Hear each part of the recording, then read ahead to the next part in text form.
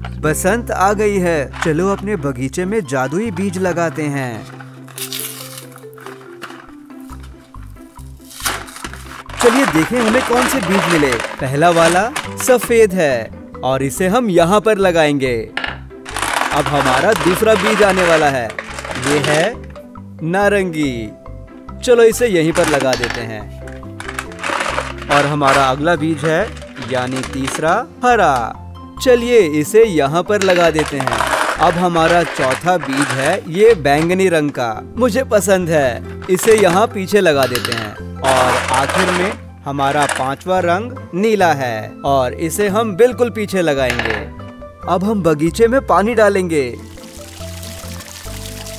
ये ज़रूरी भी है। बगीचे को बढ़ाने के लिए और क्या करना चाहिए? सूर्य। सूर्य। सही कहा। पर वो चमकने के लिए तैयार नहीं है। पर हम इसके साथ खेलेंगे तो मुझे लगता है कि वो तैयार हो जाएगा। हम इससे अच्छी गर्मी ले सकते हैं, एक और दो गेंदों के साथ। गुलाबी और पीली वाली, बैंगनी और हरी वाली। चलो इसे खिलौने में रखते हैं। अब अपने भालू को इंद्रधनुष से नीचे लेके जाएँगे। वाह, उसे जाके देखो। उसने गेंद उठाई और रास्ते में जाके फेंक दी। मुझे लगता है सूर्य को गर्म करने का ये अच्छा अभ्यास है और बहुत जल्दी वो चमकने वाला है। चलिए देखते हैं क्या सूर्य में कोई गर्माहट आई।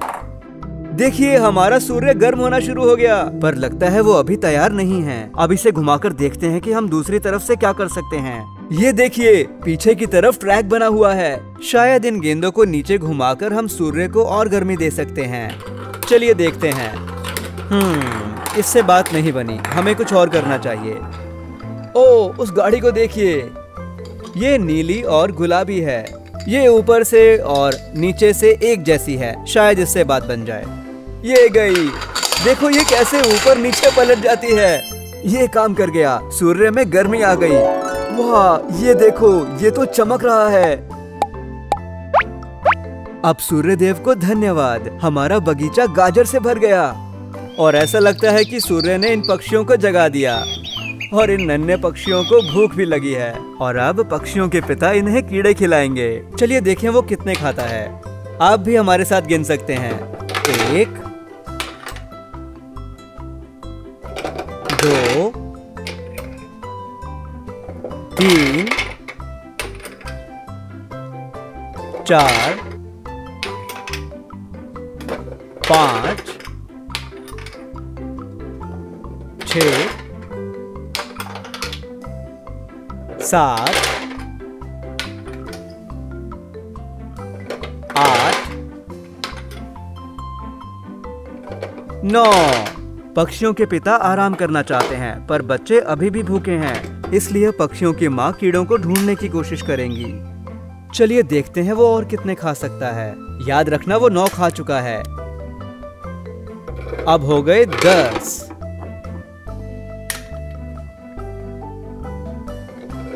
ग्यारह।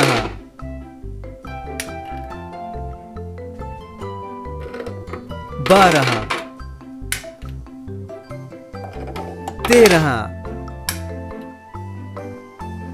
चौदह।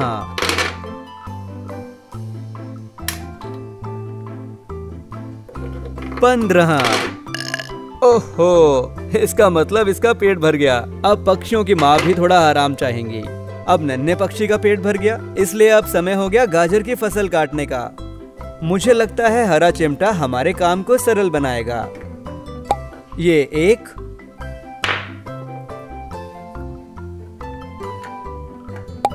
ये छोटी वाली से हो गए दो। अब हमारे पास हैं तीन। चार। अभी एक और बाकी है। और ये बड़ी वाली से हो गए पाँच।